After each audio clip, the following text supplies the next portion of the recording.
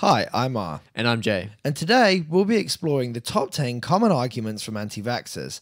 This list doesn't by any means cover all arguments that anti vaxxers make, but they are the ones we hear most commonly. Let's get to it.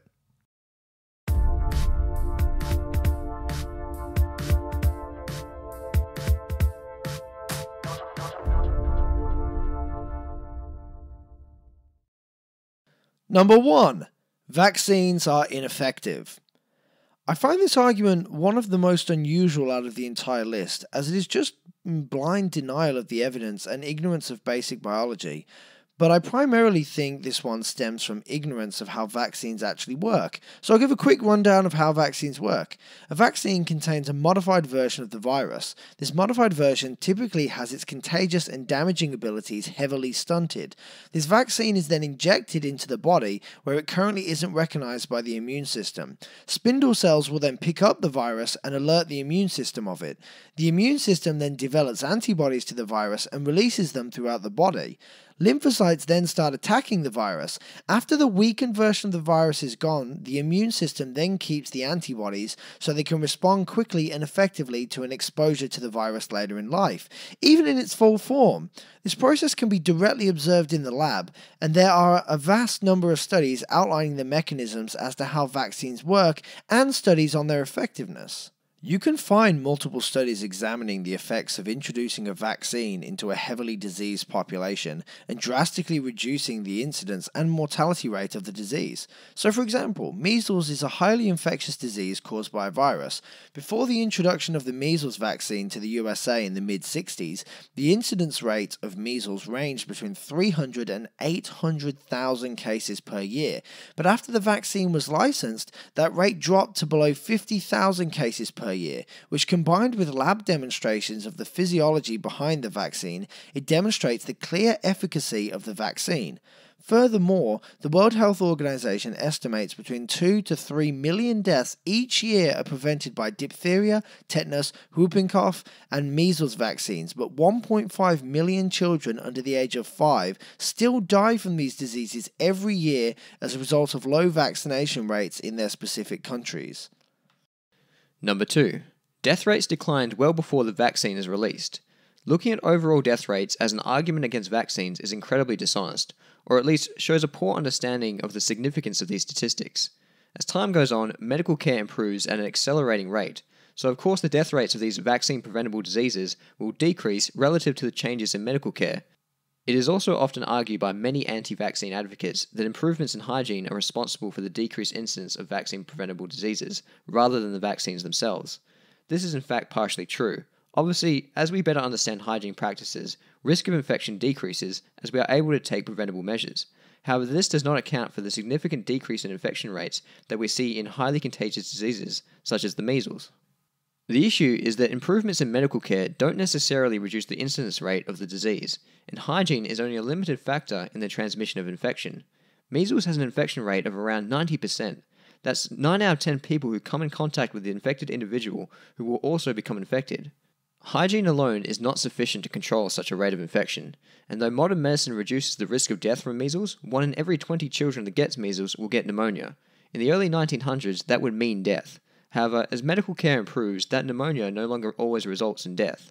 But regardless, the children still had to get and suffer through the experience of having pneumonia, not to mention any of the long term side effects it could leave them with.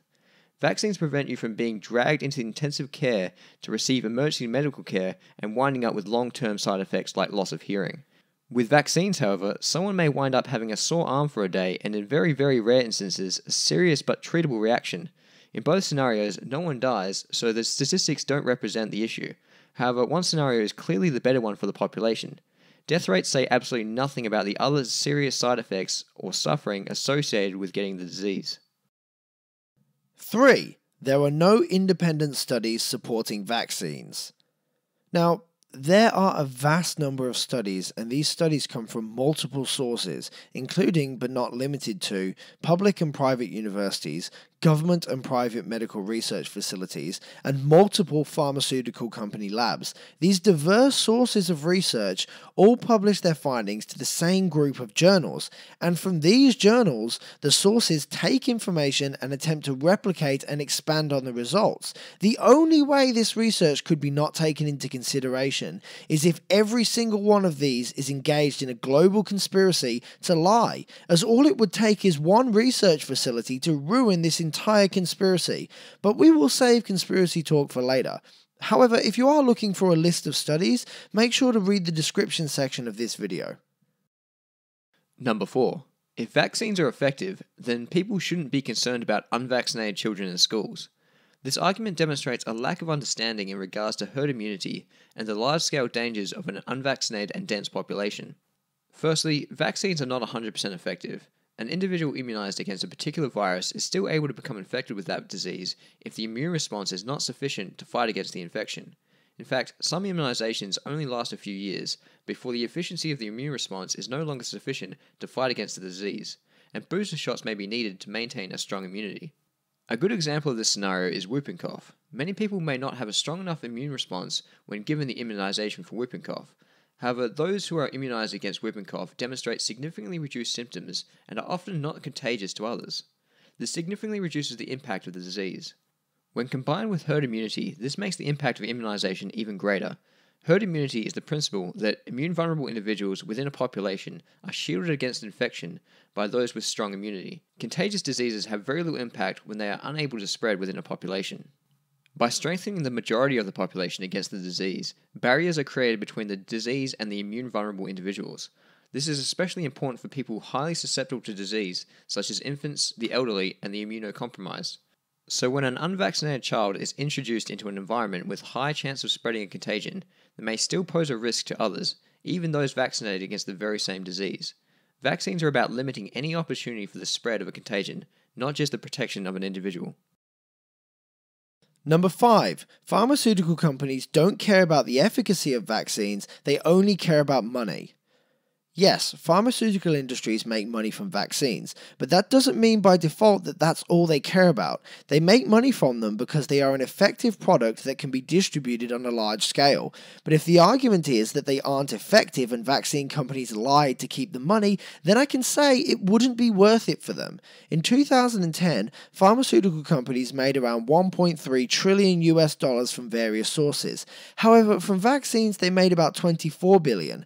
This means vaccines are attribute for about 1.82% of the pharmaceutical total income, which is a tiny portion of their income. It is also worth noting that out of that $24 billion income from vaccines, 10.5 billion of it is profits, making the profit margin about 43.8%, as opposed to the average of non-vaccine pharmaceutical profit margins of about 46.3%. This makes vaccines about 2.5% less effective at generating profits compared to the other things that pharmaceutical pharmaceutical companies sell. In summary, pharmaceutical companies have a vast range of income sources, and vaccines only attribute for a tiny portion of that income. That tiny portion of income isn't worth having a global conspiracy of causing serious harm to children for. Pharmaceutical companies make considerably more money off the medicine and equipment that would be used to treat someone who is hospitalized due to vaccines, as opposed to the vaccines that are used to prevent diseases. If anything, they would make more money if they eliminated vaccines and just allowed everyone to get the diseases and be hospitalized. It is also worth noting that the companies would stand to lose money if they were selling an ineffective product, as they would get sued constantly and have to fork out money to the National Vaccine Compensation Program, along with the damage to their company that they would suffer as a result of public scrutiny.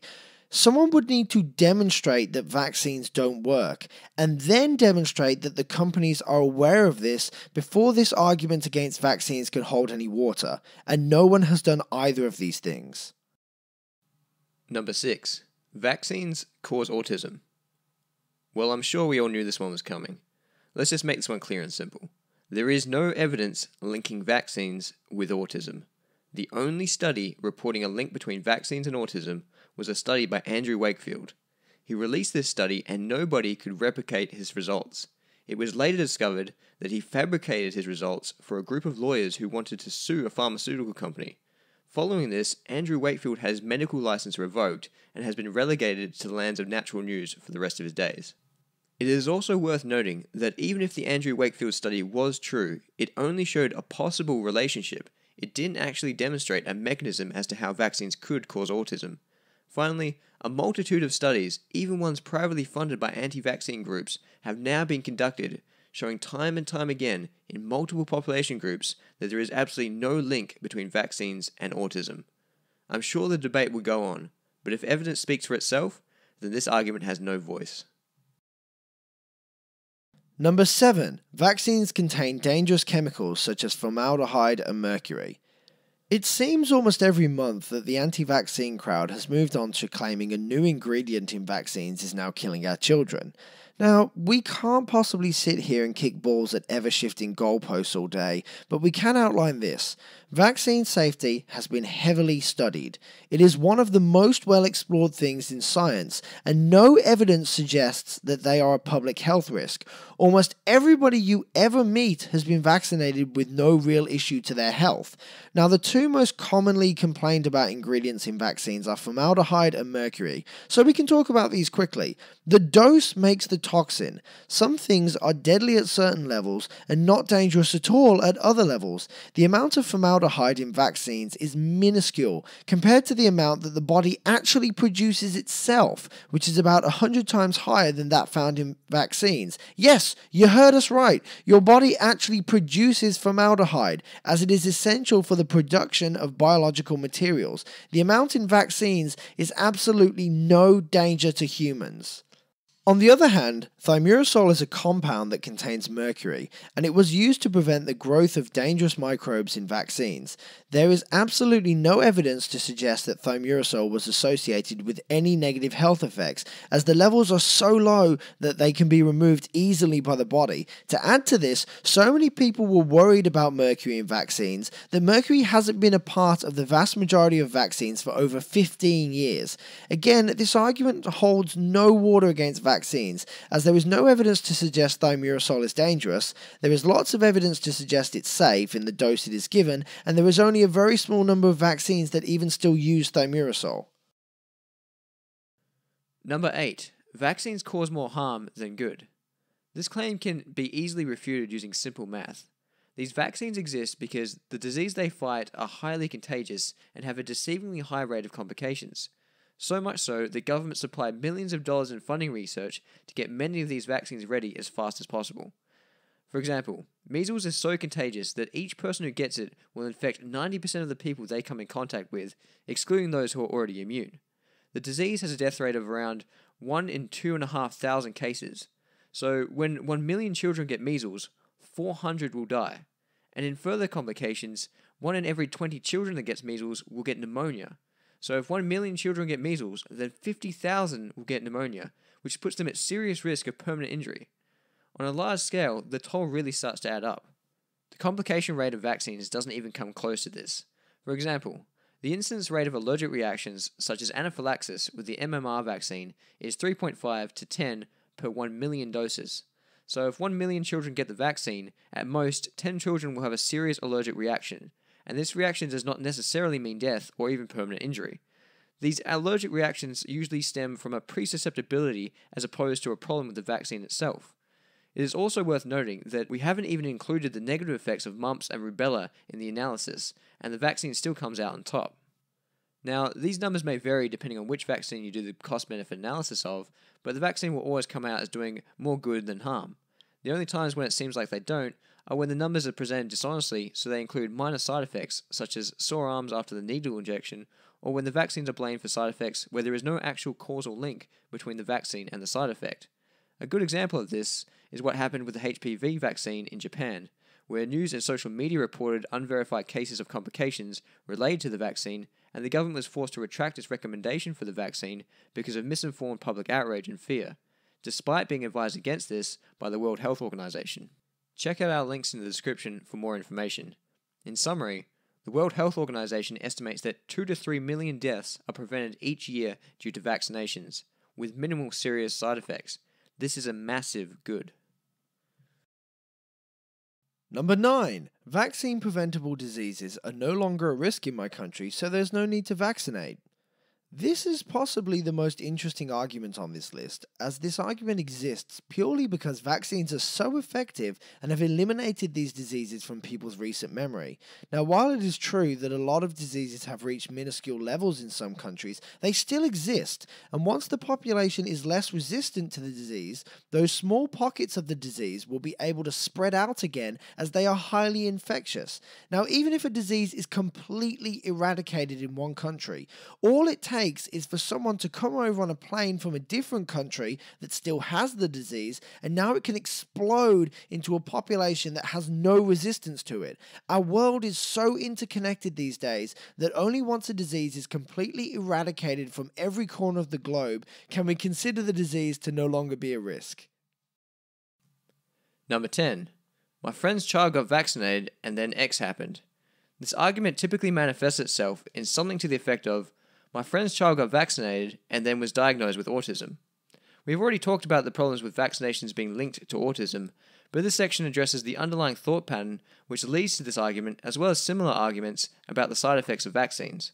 Possibly the most popular example of this is the one presented by Jenny McCarthy, who spoke out publicly against vaccines when her son was diagnosed with autism after he was vaccinated. This is textbook post hoc reasoning, as multiple things can be chosen to fill the place of X. And the response is relatively easy.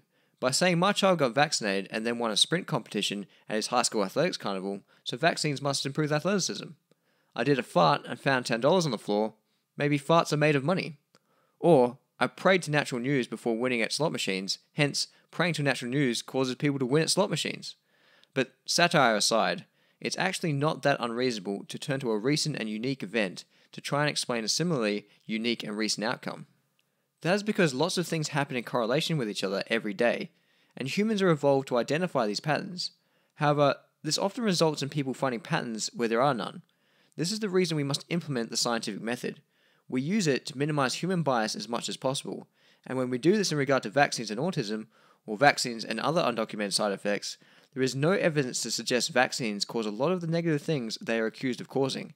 In fact, there isn't even a large scale correlation. Vaccines do have side effects, and some of them are very serious, but the incidence of these side effects is incredibly low and often affects people who are immunocompromised or especially susceptible to reaction. The reality is that people can have a negative reaction to almost anything. In order to prove a common cause and effect, you require both a correlation and a mechanism. So maybe your friend's child did have a bad reaction to the vaccine, or maybe it just appears that way. In either case, there are thousands of scientists around the world attempting to find both a correlation and a mechanism for such events, and so far, neither exists for many of the things people are claiming. We have to accept a degree of risk with everything while continuously trying to reduce that risk. And as far as medicine goes, vaccines are one of the safest bets you can make.